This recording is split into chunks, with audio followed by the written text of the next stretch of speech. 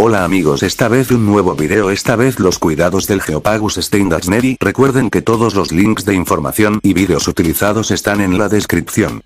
Clasificación científica Nombre científico. Geopagus Steindachneri Steindachneri Reino. Animalia. Filo. Chordata. Clase. Actinopterygii. Orden. Perciformes. Familia. Cixlidae. Hábitat. Ríos sudamericanos. Come tierra de joroba roja. Especie de peces de la familia Cixlidae en el orden de los pertiformes. Etimología geo del griego, tierra y fagus del griego, comer, literalmente come tierra. Steindachneri en honor al ictiólogo alemán Franz Steindachner. Otros nombres en Colombia se les llama mojarra y también mula. En inglés se les conoce por redumpe teater. En Venezuela es conocido como Juan Viejo. Características físicas forma, robusta, alargada. Los machos son algo más altos y tienen una jilba de color rojo. Similar a la equidens excepto por la presencia de un lóbulo sobre el primer arco branquial y la protuberancia sobre los especímenes masculinos.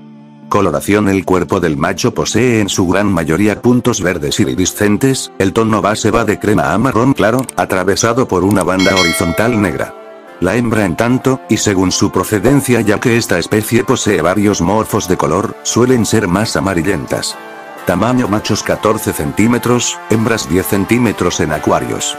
Los machos pueden llegar a desarrollarse hasta 25 centímetros en la naturaleza. Diferencias sexuales La más notoria es la diferencia de tamaño, las hembras son más pequeñas. Además los machos cuentan con mayor colorido, y desarrollan una jiba cuando están en celo. Asimismo, las hembras en comparación con los machos, apenas cuentan con los puntos verdes iridiscentes en su cuerpo. Hábitat ríos. Distribución. Sudamérica. Habita en Colombia, en los ríos Magdalena, Cauca, Sino y en sus respectivos afluentes, y en Venezuela, en el río Limón que vierte en el lago Maracaibo. Alimentación en la naturaleza filtran el sustrato que remueven, en tanto que en los acuarios, aceptarán alimento vivo, que al menos se les deberá de proporcionar dos veces a la semana. Comportamiento es territorial aunque agresivo solo en época de reproducción. Reproducción son incubadores bucales ovófilos, es decir, luego de la puesta, los huevos son inmediatamente llevados a la boca de la hembra, quedando en su interior entre 15 y 20 días, hasta que los alevines puedan nadar por sí solos. Dependiendo del tamaño de la hembra, dicha puesta oscilará entre 30 y 150 huevos de un color amarillo. Serán sexualmente maduros a partir del séptimo mes de vida.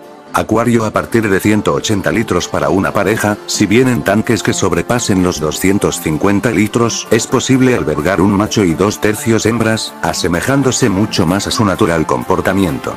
Con arena de río o grava de pequeña granulometría, además de plantas de hojas anchas, y cavidades acorde a su tamaño.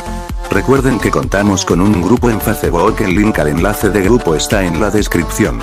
Esperando que el video haya sido de tu agrado, me puedes apoyar con un like y suscribiéndote al canal. Se despide Aquarius Golo hasta la próxima.